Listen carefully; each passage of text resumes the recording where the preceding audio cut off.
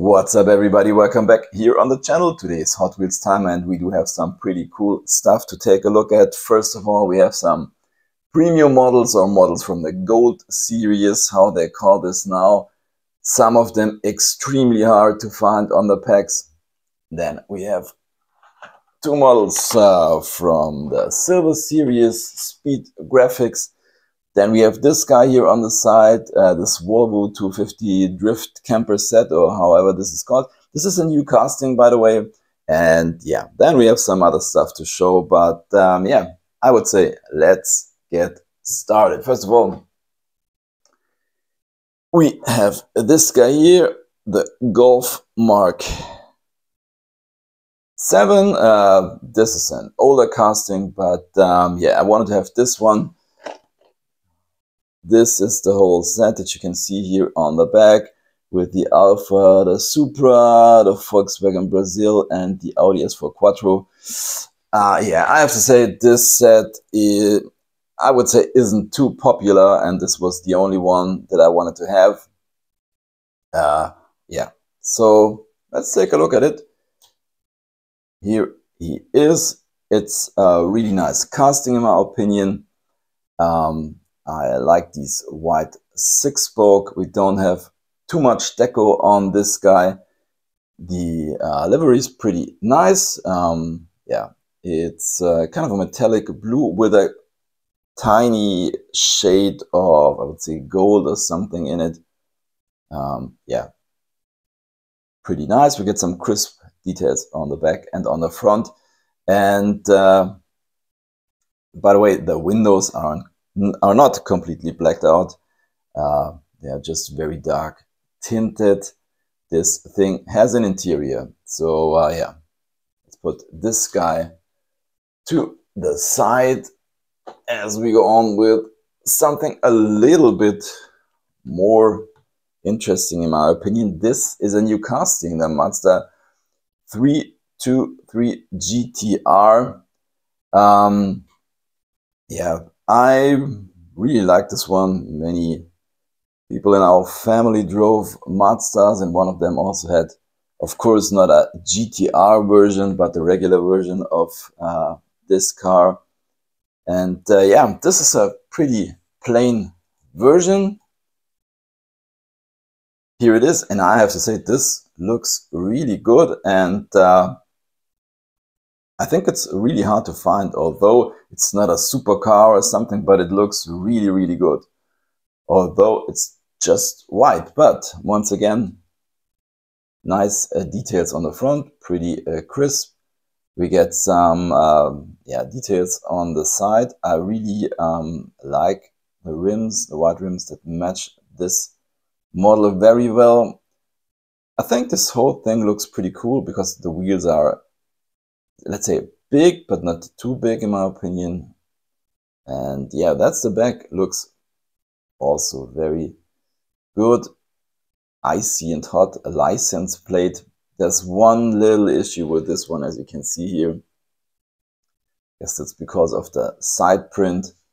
The um, yeah tail lights aren't perfectly lined up. Um, yeah, but we got some indicators here on the side. Uh, all in all, um, really, really nice model, uh, right-hand drive, by the way yeah, I'm happy that I found this one. So let's put this guy into the parking lot. And the next model that is uh, nearly impossible to find, although I'm here in Europe and Japanese cars aren't as popular as in the US, for example. But um, yeah, this is also a new casting and comes in this really cool spoon livery. So yeah, seems like it's very sought after and here it is. Uh, yeah. I mean, if you take a close look, as always, um, you will see that these prints, you can you can see the pixels um, in there, which is always a little bit of a disappointment. And uh, by the way, I'm yeah thinking about quitting collecting these premium models because many stores now here um, in Germany um, charge 12 euros for a Hot Wheels premium car, which is insane in my opinion. Um, just, I mean, not too long ago, I bought Matchbox 5 packs for 6 euros. So you can get two Matchbox 5 packs. I mean, those are basic cars, um, but you get, you know, 10 Matchbox basic cars for one um, of these. I don't know. It's it's just too much. But uh, we will see. But I'm definitely not going to buy whole sets anymore. As you can see, I just picked out always the coolest ones of these sets.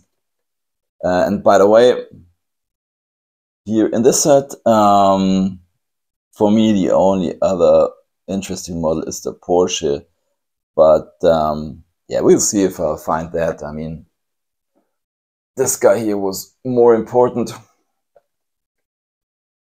Uh, same thing with uh, this set here, by the way. Um, I guess uh, many of these will be um, pack warmers. I think the Meyers Manx is a, is a new casting, but not um, really interested for me. And I also think the um, Acura doesn't look too good. So um, I guess, especially the Ford Transit Super Van will sit on the shelves for a very, very long time. But uh, once again, let's get back to this guy, black. Uh, five spokes looking really good. I get this nice deco all around. Um, yeah.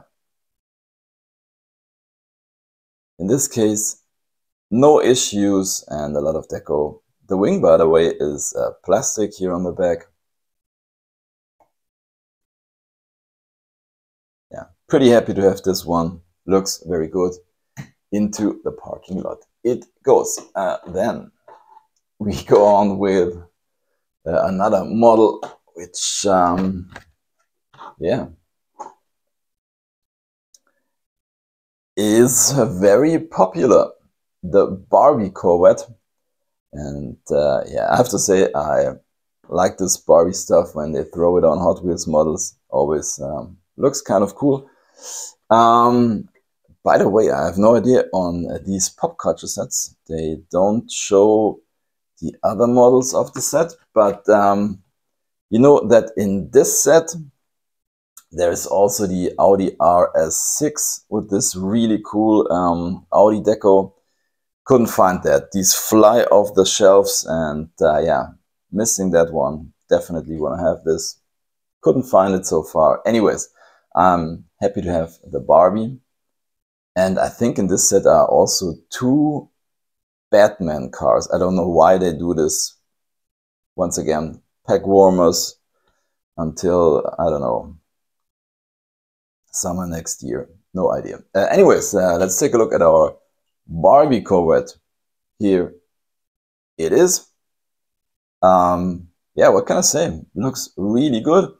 Um, with these uh, neon yellow uh, rims.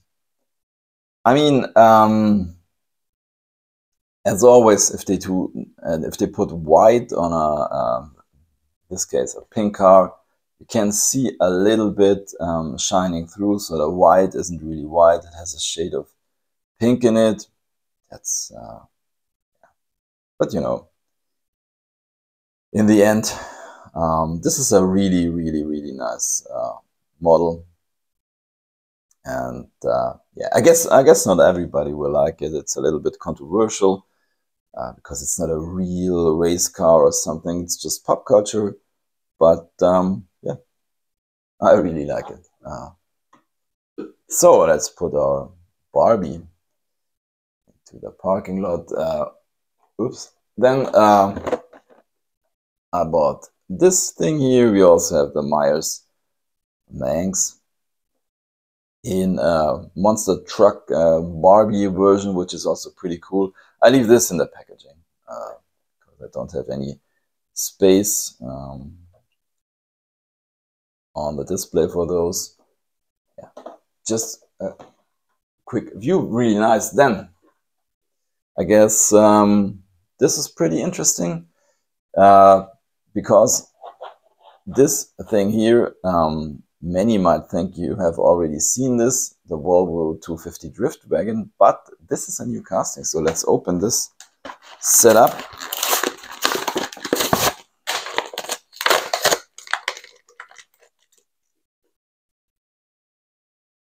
There we go. So let's see if we can detach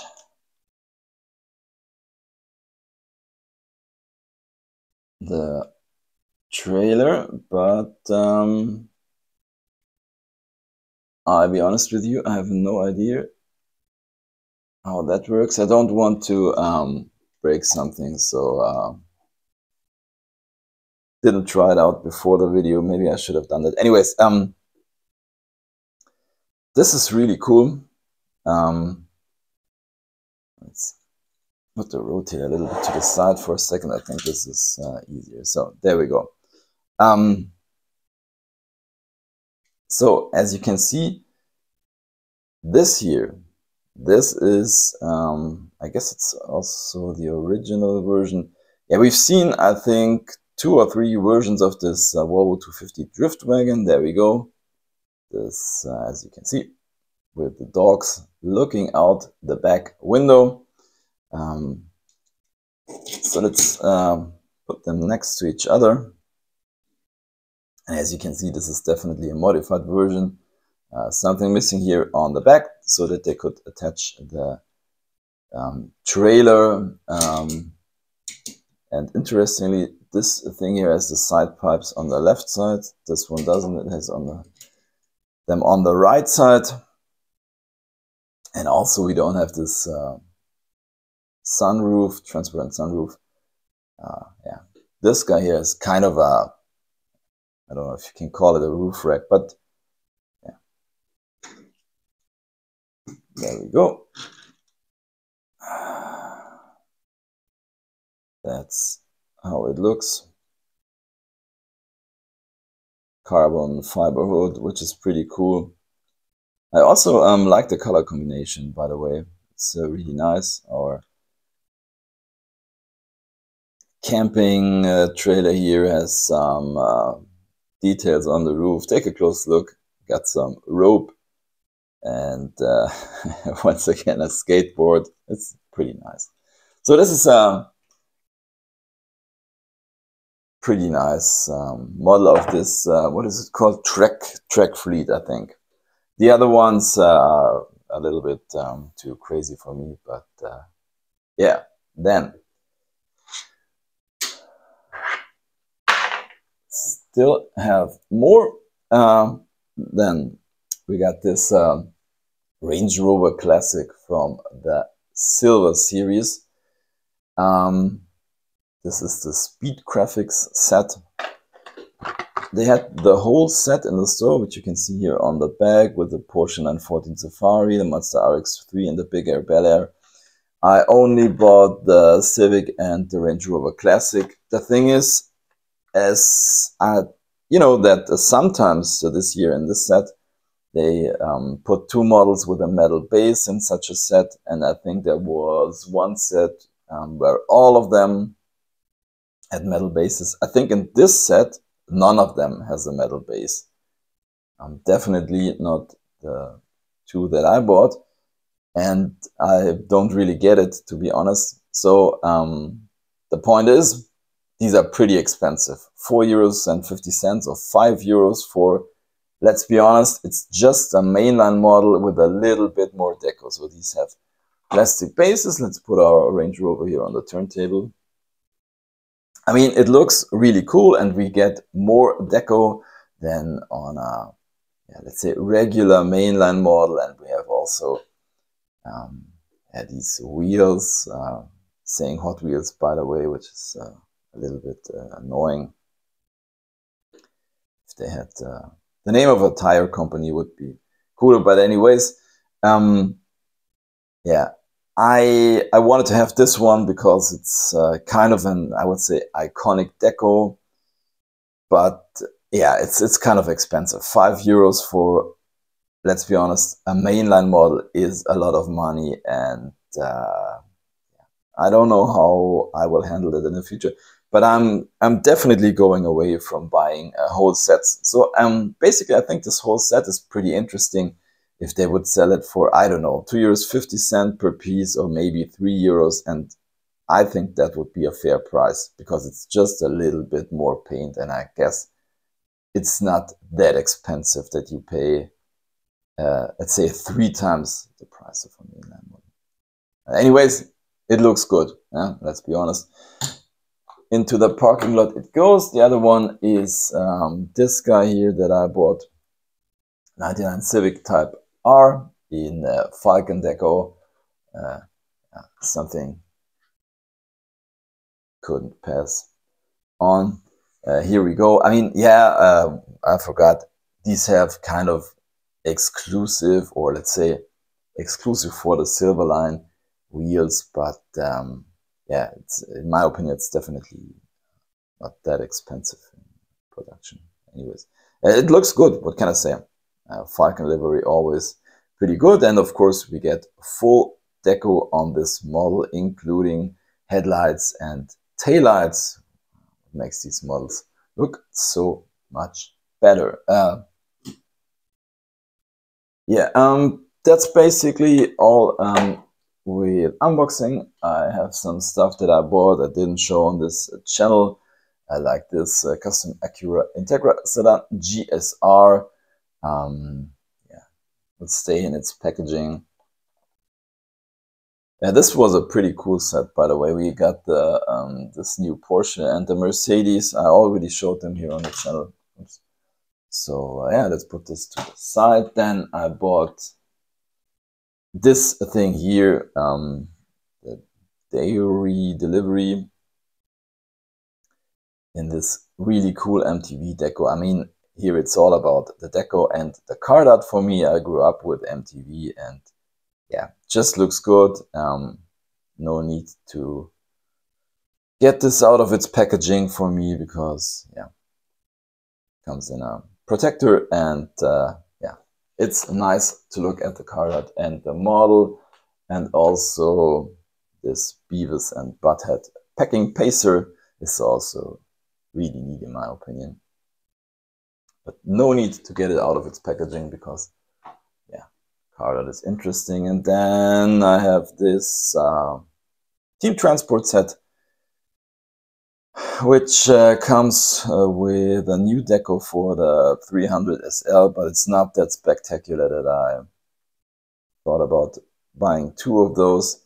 And we've already seen um, this uh, hauler called Das Blaue Wunder. I think there's a minimal um, a minimal difference to the one we've already seen in the diorama set, but um, nothing too spectacular. So uh, yeah, let's sum this up and let's take a look at uh, the models from this uh, unboxing. And uh, you know, I always pick a favorite, and uh, yeah, it's pretty hard. This time, I mean, I really um, like the Civic with the spoon deco, the Barbie definitely, but I think this time it's uh, this uh, focus plain version of the Mazda 323 GTR. I mean, this looks really good, except our uh, little issue with the taillight, but it is how it is. Uh, yeah, there you have it. My unboxing of some uh, 2024 Hot Wheels premium models and some other stuff that's it for today's video.